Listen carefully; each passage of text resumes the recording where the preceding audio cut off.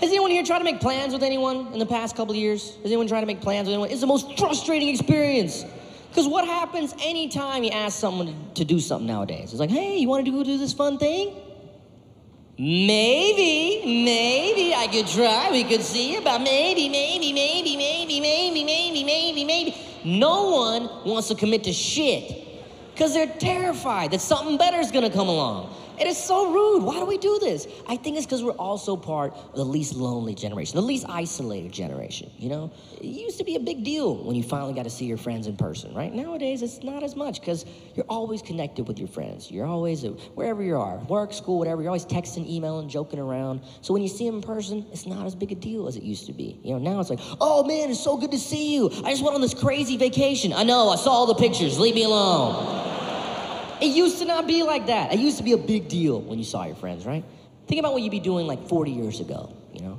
Think about what that would be like, what you'd be doing like on a Thursday night, you know? You're just sitting in your house by yourself, you're in a wooden chair, eating a can of beans.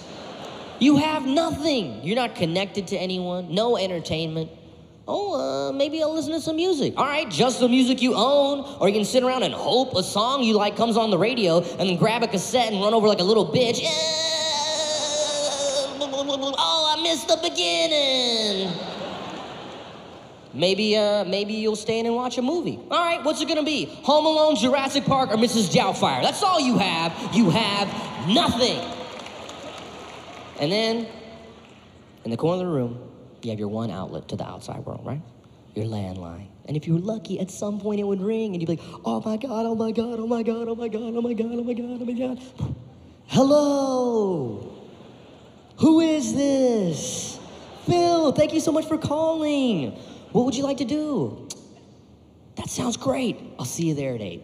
And you would be there at 8 o'clock. And Phil would be there at 8 o'clock. And if Phil wasn't there by 8:15, you'd be like, "Oh my God, Phil is dead. Phil has died. we were supposed to see Police Academy, and now he's dead." Because that was the only polite way to cancel on people back in the day. You had to die.